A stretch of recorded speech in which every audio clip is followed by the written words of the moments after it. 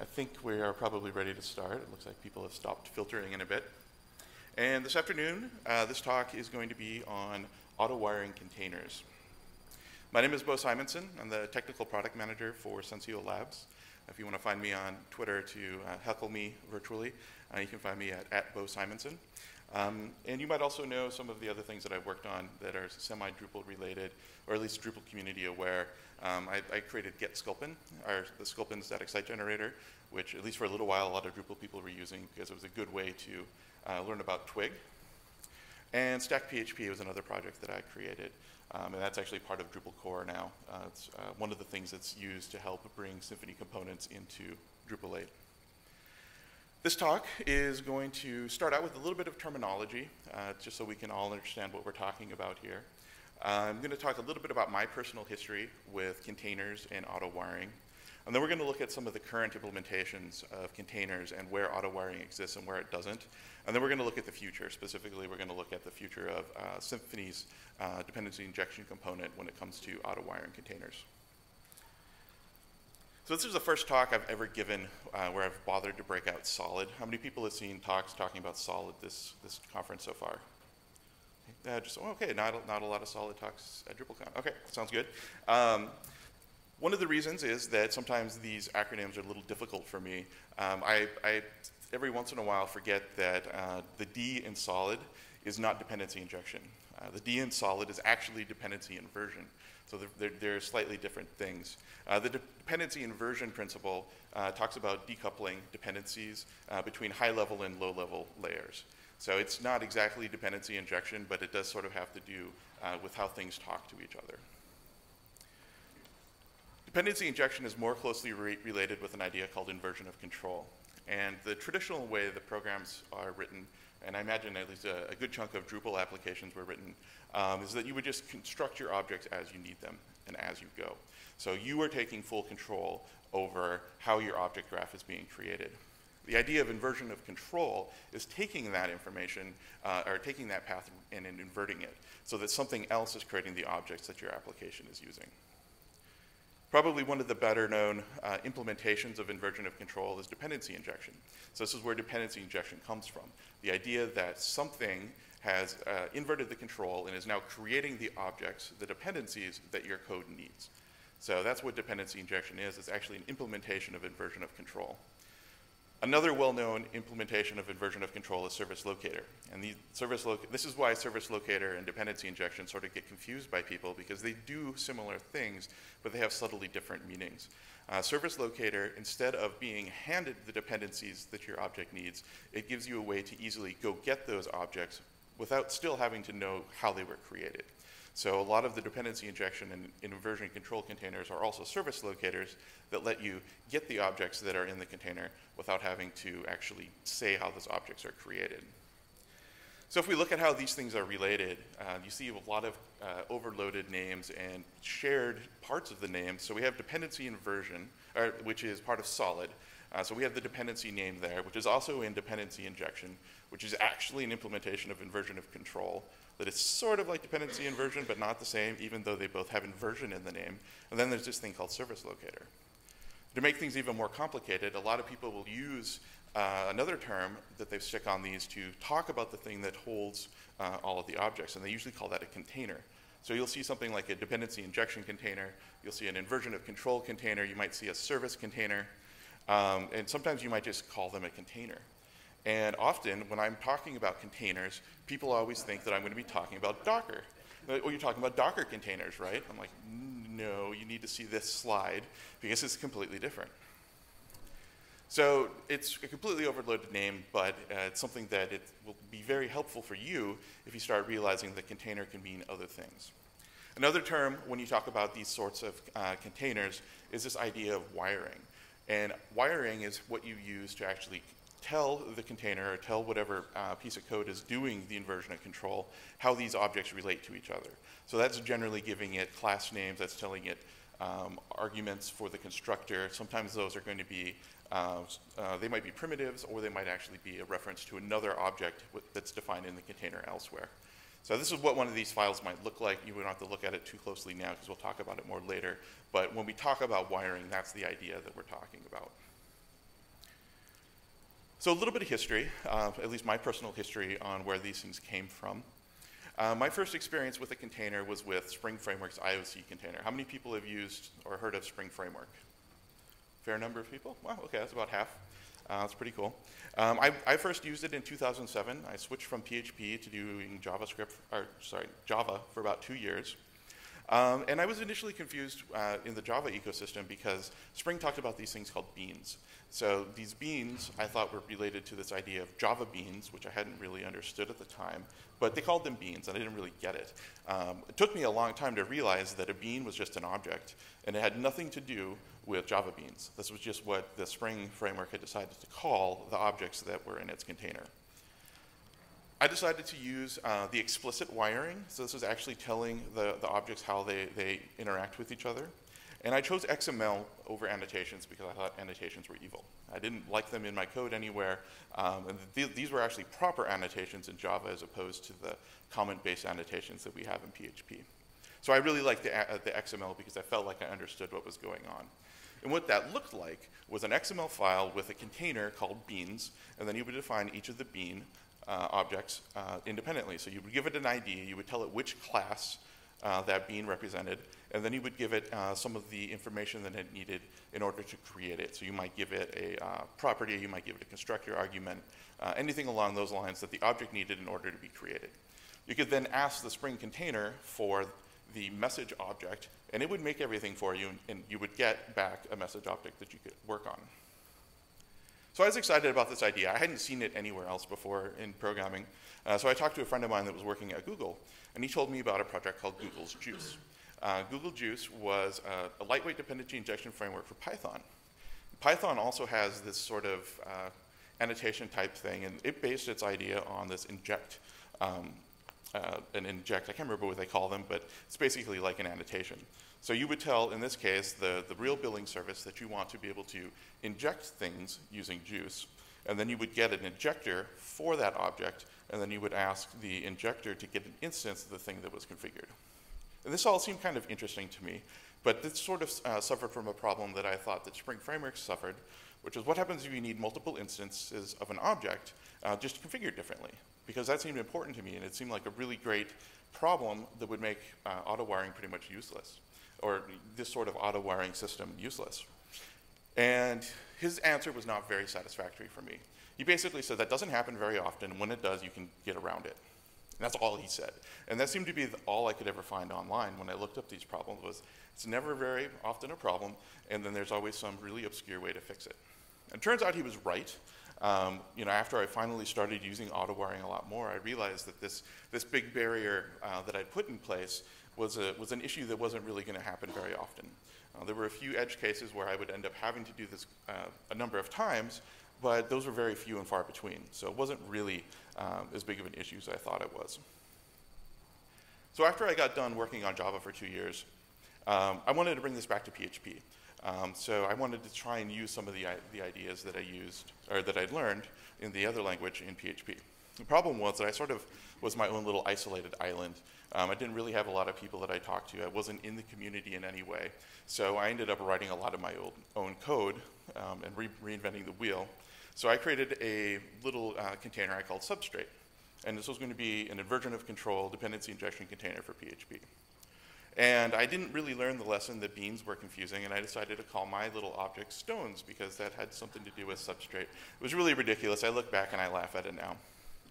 Um, I stuck again with explicit wiring because PHP at the time didn't really have uh, annotations, and if they did, it was very like one-off people trying to do some weird hacks with doc blocks. Um, so I just it just made sense to stick with explicit wiring. Um, so the way that it worked was a lot like uh, Spring worked. Uh, you would have a context object, which was was essentially a container. Uh, you would add something, you would give it a name, and then you would give it the, uh, the metadata to help uh, wire things up. So in this case, we look at a class name of a properties configuration, and then we can see that it has constructor args, and you can pass all the information in that you need to do. So this was really great. Um, I like this a lot. Um, it really fit my needs pretty well. Then I started adding this idea of auto wiring. I'd seen this in the Spring framework, but I didn't really understand it, didn't understand why it needed to be there. And I implemented it a little differently, but it turned out to be pretty much the same. The idea was that as you were constructing a new object, you could go over all of the uh, parameters for the constructor. And if that parameter had actually been defined in the container already, it would just use the reference to that object, um, which means that you were able to automatically put in anything that was already defined as an instance within that container. Otherwise, it would use whatever had actually come off on the configuration. So what this meant was that if I had, say, a file logger, and I had a log factory that needed a file logger, uh, my configuration now would, would need to know about the logger. So I'd have to define the logger. Um, I would give it its constructor args, and then I would add the log factory, but I wouldn't have to specify the file logger anymore because it was able to actually find that within the system already. But uh, as is always the case, it's better not to always reinvent the wheel. Um, I started shopping around for a new framework. I ended up on Symfony. Um, it started to feel really familiar because it started out more or less, as I understand it, a port of some of the Spring Framework ideas. So it really felt really familiar since my, my own internal um, container was based on Spring as well. I was, I was particularly excited about the dependency, uh, dependency injection component uh, because it was a standalone thing that you could use uh, in Symfony or you could use it in your own applications. So it was pretty exciting for me. They had a bunch of other stuff that was great as well, but this was the one that I was uh, the most excited about. It was very flexible. Um, unlike some of the other PHP containers that were starting to grow around that time, uh, it seemed to be able to do a lot. It had a lot of different ways to load the configuration. You could do a PHP, you could do XML, you could do YAML. Um, all of these things that were just built in um, to it that just made it really, really pleasing to work with. It also had these things called compiler passes, which were extremely confusing for me to get at first, but they were very powerful. And the most interesting part about the compiler passes is that Symfony uh, the Symfony container can be compiled. This means that you don't have to interpret the, the binding, um, the, the wiring uh, code every single time.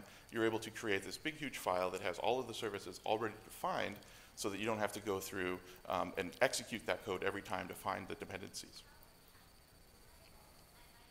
So now that we've looked at uh, kind of the history of where we were, uh, we're going to take a look at a couple of implementations. Uh, the first one we're going to look at is a file called k.php. Uh, this is in almost all of my projects, along with kk.php, k3.php. Uh, basically, any random text that just has a, has a bunch of procedurally generated or procedural uh, code to try and test out the project. so it's just basically a file that has inline PHP in it. We're going to start with a, a really uh, specific class called important service. Um, and it's going to use one of the logger factories. And it's going to do an important task, which at this point is only going to log that it did that important task. So this is kind of where we're going to start. So we're going to add this class inline into k.php. And then we're going to create those objects by hand um, as they relate to each other. So we create the new file logger, we create the file logger factory that needs a file logger, and then we create the important, fact, uh, important service that needs the logger factory. And then we can ask that important service to do something. So this is the opposite of inversion of control. So if you're wondering what inversion of control is, really, this is the opposite of it. So anything else where other people or other parts of the code are instantiating your objects for you, you're doing inversion of control. If we wanted to do something like this in Symfony, uh, like the current version, uh, current stable versions of Symfony, uh, we could use a YAML file to do the same sort of thing. Uh, we can specify the, the services key. We're going to name it uh, file logger, give it the class, give it the arguments. Uh, we're going to do the same thing for the logger factor and the important service. As you can see, these little at signs mean it's referencing the services by name. So that's how it actually references existing objects within the container. And then you can just get the important service by name from the container, and then you can uh, do the important task. So this, this is how most of the containers are going to work. There's going to be some sort of wiring, some way to get an object out, and then you can use the object as you would normally. Uh, the, the, XML loader version of Symfony's container uh, is a little more verbose. So you end up uh, typing a little bit more, but there's also a lot more validation that can happen. So it's, it's the same exact uh, end result, it's just different inputs. And this is one of the reasons that the Symfony container was really nice when I first started looking at it, because it let you do either. There's another container uh, used behind Silex. How many Silex users are there? Okay, a handful of Silex users. Uh, Silex is based around a container called Pimple. And the way that Pimple works is it uses an object that sort of acts like a, a typical array. And you define the keys uh, by name that then call a factory. So the factory's job is to return the object uh, for that. Uh, so we have like file logger here, and we're going to say return new file logger. Uh, logger factory is going to return new logger factory. It gets the container passed in, so you can ask the container for file logger. So this is the way that this kind of uh, container uh, configuration would work. There's another container uh, called Illuminate container, which is actually Laravel's container. And I believe that it originally started out, uh, Laravel originally started out using something like Pimple or used Pimple itself, but eventually uh, it, it uh, gradually changed so that it started to use functions or method names rather than using uh, it as just an array. But it, otherwise, it looks almost identical to the, uh, the, the, Pimple implementation. It's just that it's using uh, method names instead of doing direct accessors. One of the things that the uh, one of the things that the Laravel community started to do that, that I thought was great was that they would start to, instead of using the class, uh, using the, the uh, made up names here, they would actually use the class name of the object that was in question, which I thought was just brilliant. Um, this was, this was so nice because one of the things that I really didn't like about the Symfony stuff was that I always had to come up with an ID. And generally it was basically copying the, the fully qualified class name and replacing the backslashes with periods, which you'll probably see that, sorry, you'll probably see that quite a bit. Um, that or else you would end up with a completely shortened version of the name. And it, it, it was just kind of annoying for me to always have to go in and do that. I always felt like that was something that I didn't like to do. So I thought this was kind of a great thing. And the thing was that I hadn't realized until I'd been using it for a little while that if I had done something like this with Substrate, it would have been pretty awesome. Because what I could have done is look to see whether or not the, the stone instance existed for that class name. And if it didn't, I could actually ask the container to just make that parameter name. So it would actually go and make the class name. So I could specify class names now, and even if that, that um, container, or even if that didn't exist, within the container config, it would know that the class name existed. It could still do the reflection on the class name and build everything up from there. So this would have actually been really nice had I realized that this was even a possibility. So what, what this looks like in the terms of like an auto wiring container, uh, like what Laravel has, if we look at important service, the container is being asked to make the logger factory. The container knows that it needs a logger factory and it can create it by logger factory, do we even need to specify that we need to do this? Like, do we even need to specify important service class at all? Because it's going to go over all of the arguments, find out that it needs a logger factory, and then it can go get the logger factory. And the answer is no. We don't actually have to specify that anymore. And the same thing here. If the logger factory needs a file logger, the container knows how to make a file logger. It doesn't actually need to define that either. So the container configuration keeps getting smaller because the container is smart enough to create the objects for the classes that are in question.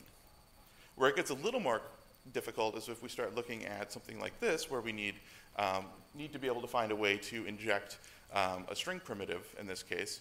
Uh, we need to do something a little different. And the way that Laravel handles that is it has something called binding primitives, where you can say, when the file logger needs file name, give it this value. So now the container configuration only consists of this one setting to bind these values. These sorts of uh, auto-wiring ideas are really great when you start looking at change. Like if we want to change important service now to do something a little more, like do something with the connection. Maybe it's actually going to do something now. It's going to execute something on a connection. Uh, what we do is we would add the connection as an additional constructor arg. We would type hint it, and then we would ask the connection to execute something within the do something uh, do important task method. If we go back to the uh, procedural implementation, this isn't too much worse. You have to add the connection part, um, and then you have to add the connection to the important service constructor. If we look at the services YAML file from Symfony, you have to add an additional uh, connection class now, and you have to update the important service to uh, reference that in the arguments. Uh, same thing for the XML version. You still have to add uh, these additional bits so that uh, you're now referring to the connection object with the connection ID. Uh, similarly, in Pimple, if you want to add another object, you just have to add an additional, um, additional uh, connection here, and then you would have to update the important services to do the connection. If you look at an auto-wiring container, what you end up having is nothing. So because the important service knows how to knows that it needs a connection and because the container can build the connection on its own, you don't have to change anything. So you can start adding dependencies and adding whole classes without ever having to modify the configuration for the container that you're using. This was something that I, I, I started to think about like middle of last year was that there were a lot of things when I was using the Symfony container that sort of drove or impacted my design because I no longer wanted to add a new class or do some refactoring because anytime I changed the classes or the hierarchy, I'd have to go in and change the configuration as well. And, and converting the k.php file that I would always have with all of this procedural code, I would dread when I actually decided to try and create the configuration for that because I would have to wire up the entire thing, and it wasn't just you know working. So I, I found that this really started to impact my, my design and my development.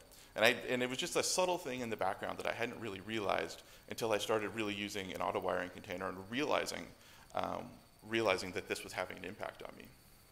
So the pros of an auto wiring container are that it has an amazing developer experience. This is something that Ryan Weaver in the back is all about. I think that's his buzzword that, that he's excited about. It's an amazing developer experience because you're able to uh, do things quickly. You're able to not have to worry about configuration as much.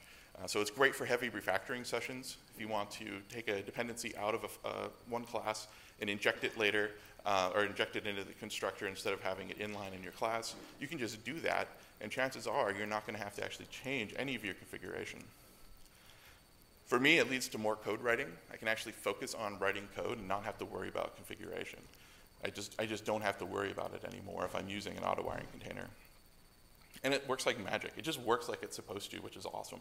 Um, you know, it, if you're into magic, it's really great, but I know some people aren't into magic. The cons for doing auto wiring containers is that it's not really good for performance, especially if you're looking at Laravel's implementation, where it's all um, it's all function ba uh, uh, callable based. It has um, uh, it does a lot of stuff with reflection. It does a lot of magic behind the scenes. So it's doing that every request. So this this actually becomes uh, at a certain point, at a certain scale, it starts to impact performance quite a bit. And if something like, uh, if a container like Symfony wanted to do this, it would start to become difficult to optimize this because all of a sudden you're looking for classes that, that aren't defined yet. You know, uh, at least with the, the, the, current implementation of Symfony uh, stable, you're looking at um, a, a, class. It has to be in the service container in order for it to be able to be wired so that it could be dumped, so that it could be uh, high performance. That's just the way that it worked. So at least initially, this idea of auto wiring for anything but something like a Pimple or uh, Laravel type container was going to be really difficult. And of course, a con is magic. So if you don't like magic, then you're really not going to like auto wiring. So in the future, I sort of see this best of both worlds sort of thing happening. What I'd really love to see is Symfony's container, like all the power of the compiled container, all of the uh, compiler passes, and all these really great things that Symfony's container has, but also have the developer experience that you get from auto wiring containers. So I was really excited when Symfony 2.8 was released because I saw this really cool service auto wiring thing that came out. And then I looked into the details and saw that what it really did was if you had a services container like a services configuration like this where you're referencing service one, uh, you could auto wire service two, and then uh, you wouldn't have to define service one anymore. But for me, like this really didn't seem very good. I looked at it and I think I, I, gave Ryan a hard time at Symfony Live one year because I'm like, I, this, this is great that we have auto wiring, but uh, it, you're still having to do all this stuff. It just didn't really make a lot of sense. So I was kind of unhappy about it, uh, but I wasn't a very good community member because mainly I just complained to Ryan about it, but I didn't do anything. Uh, fortunately, there are other people in the community who actually started to look at this and try to make things better.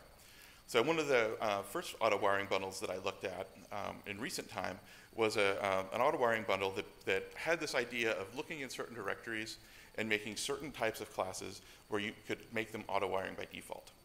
So now at least we had one less level where we had to say auto wire true, because to me, if you have a, if you have a class, you have to define it anyway and say auto wiring true, it just, it's, it's not going to be user friendly.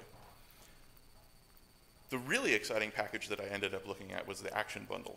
And the action bundle, um, its job was that it was going to scan directories, and what it did was it dynamically created objects that could then be um, in, uh, dumped into the container, um, the dumped container, that had services generated with the class name as the ID. So whatever class name that it, it found in the directories uh, was going to be the ID. And then it was actually going to enable auto wiring for them. So what this meant was that you could now create uh, a controller like this one, this homepage that has a router interface and a Twig environment that needed to be injected into it. Um, and it would just do this. The container would be able to create this object called home, or create both the class name of homepage, so you could just ask it for it without any configuration. The container didn't have to do anything anymore. So this was really, really exciting to me. The other exciting thing was it turned out this wasn't limited to actions. Uh, as he worked on it uh, more, he realized that what he could do was um, scan any directory and create the same sort of services. So it was, it was something that wasn't just tied to controllers anymore, which was pretty awesome. So what we get with this is a very performance uh, friendly container. We get the optimization of being able to dump the container, and we'd get the developer experience of not having to, at least for controllers or you know very specialized um, types of uh, types of objects, uh, not have to do any sort of configuration for them, which was really great. What's going to be really cool is that almost all of this now is baked into Symfony. So Symfony 3.3 has a bunch of really cool features that uh, cover almost all of these cases and make auto wiring and, and, and something else called auto configuring um, a part of the core Symfony experience. So I'm super excited about these. We're going to talk about a couple of them. The first one is that optional classes can now be, uh, optional, cl uh, the class name is now optional for the services defined in the Symfony container. And what that means now is that if there is no class name defined for a service, it's going to use the service ID as the class name.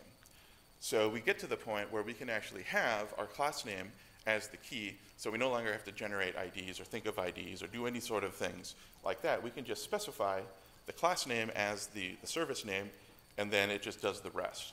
Uh, couple this with auto wiring means that this becomes very, very tight now, which is very, very cool.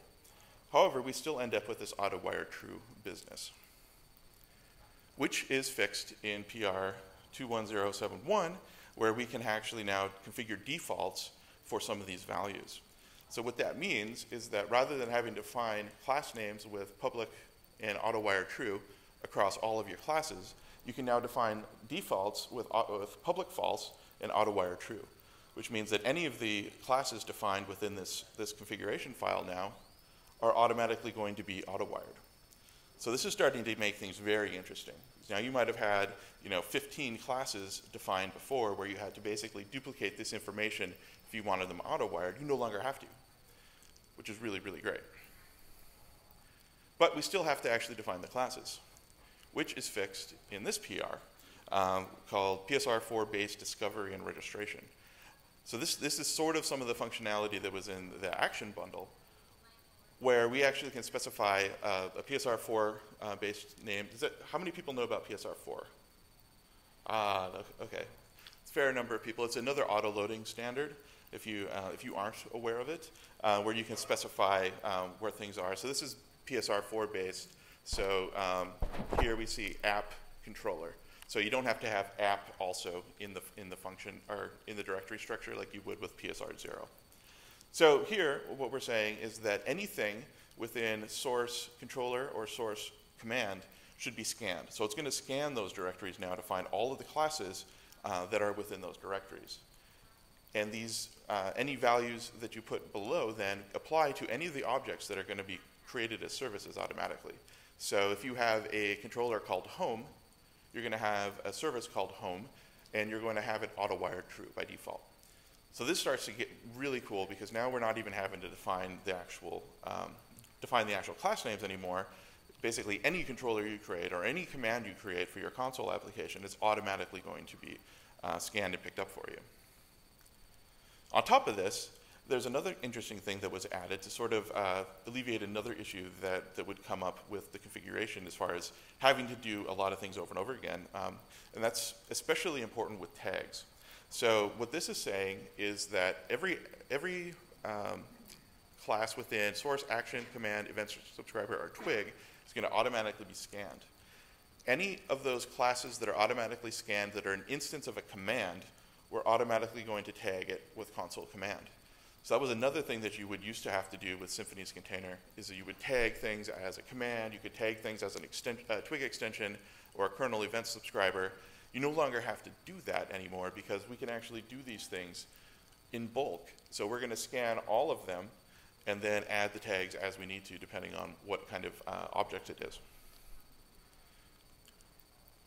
Then the team took it a little bit further and decided that why do we even have to do that? Like, why do we have to tell people that? We know that we have event subscriber interface and that everything that's an event subscriber interface implementation should have this tag. So why do we actually need to do that? And it turned out we didn't. We could leverage this instance of concept. So now there's a new key called auto configure true.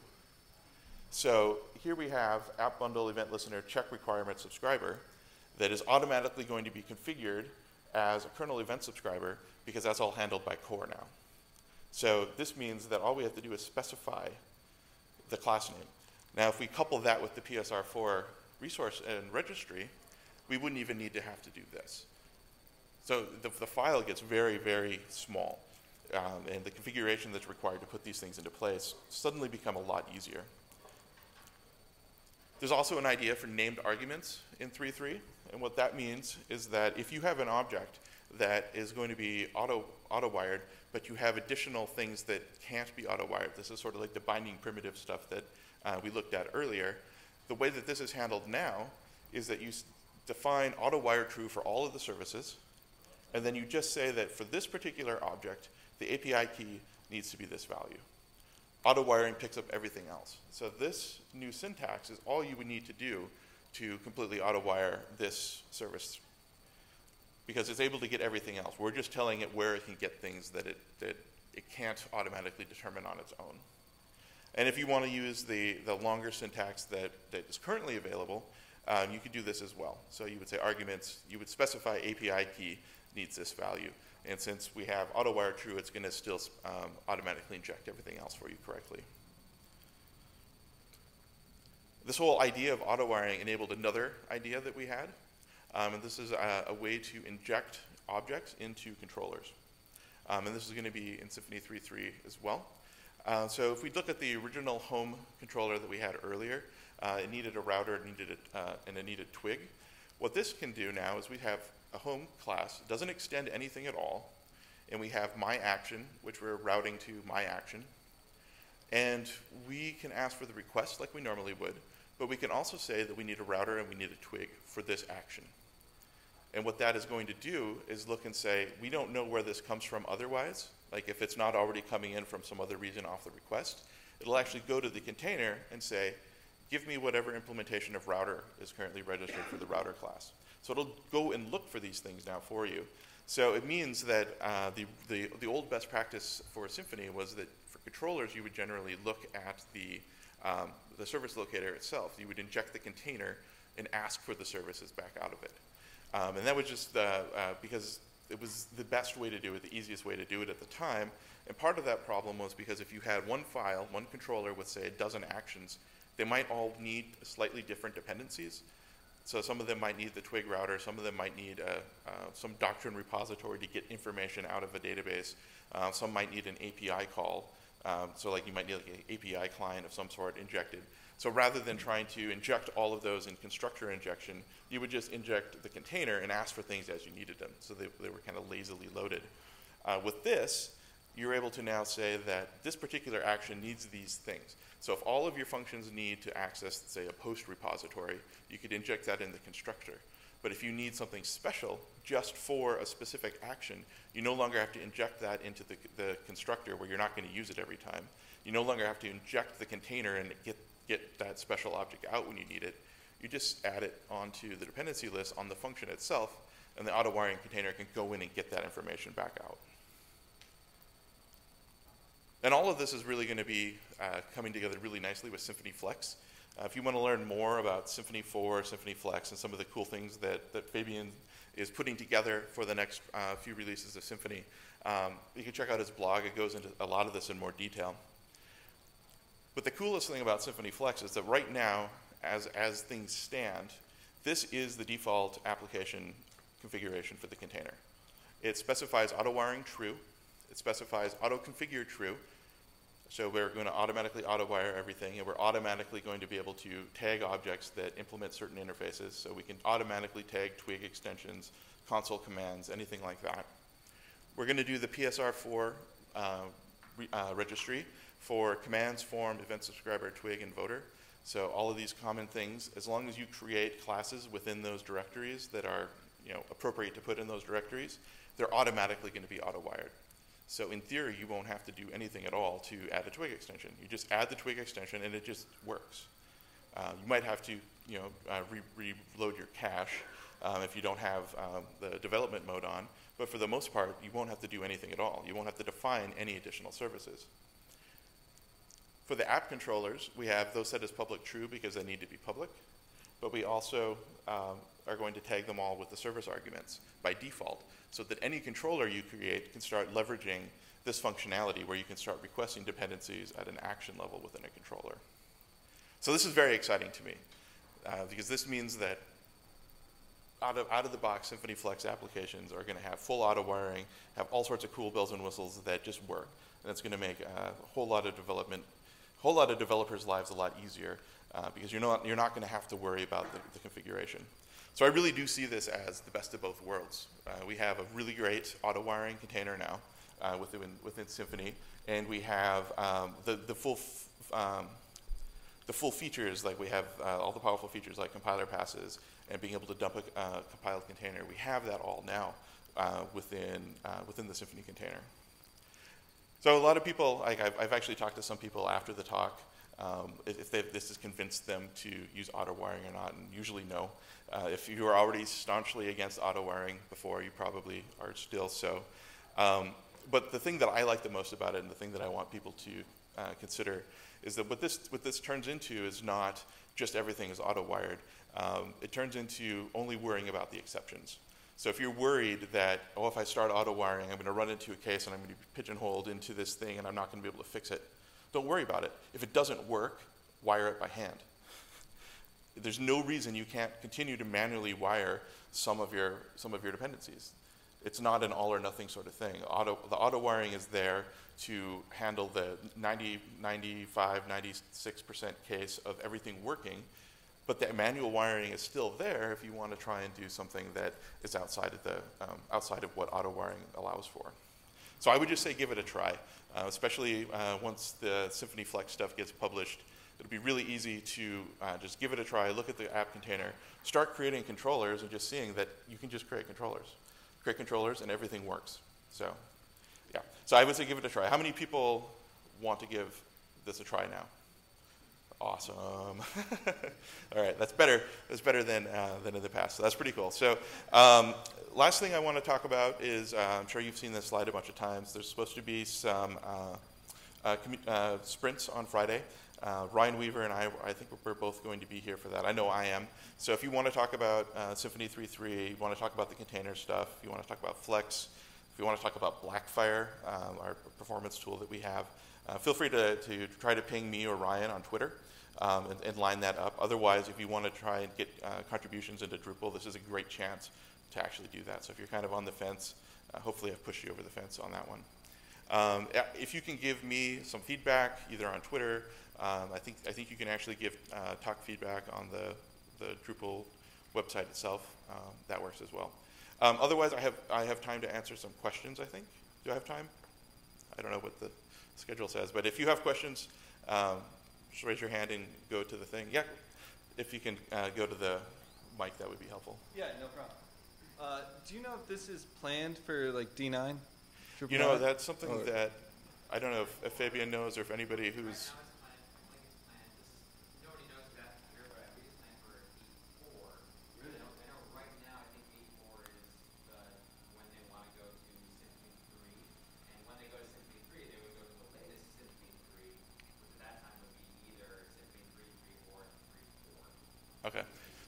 So the question, the, the uh, Ryan's in the back. He answered it. I'll answer it for people who need the mic or the recording.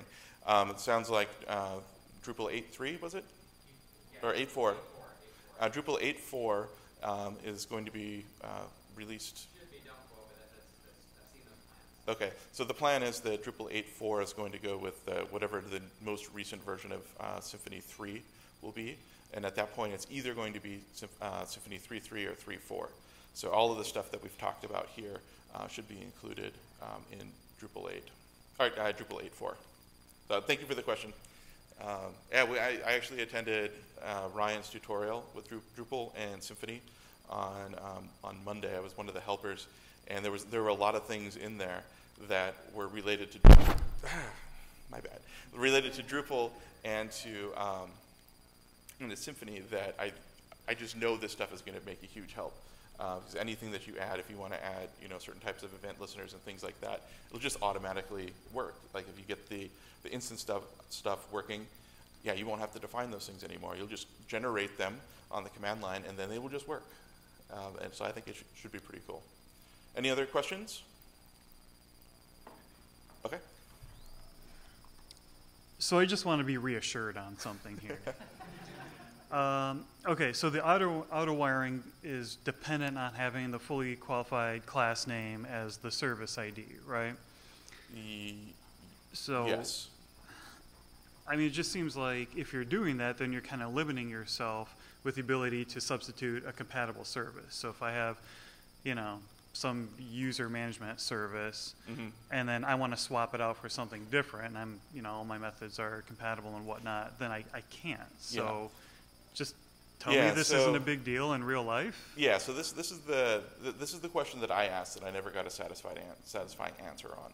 Um, that, you know, whether it be swapping out implementations for an interface, or if you have uh, the same object that needs to be, um, or the same class needs, you need six instances of it, for whatever reason, are differently configured. Um, I wrote a, I wrote a, uh, a read model for an event sourcing system where I had a, a common uh, key value pair sort of thing, where I, I wanted the, the instances to always use the same PDO instance to do the actual SQL query, but I wanted the, the table name to be different for each instance.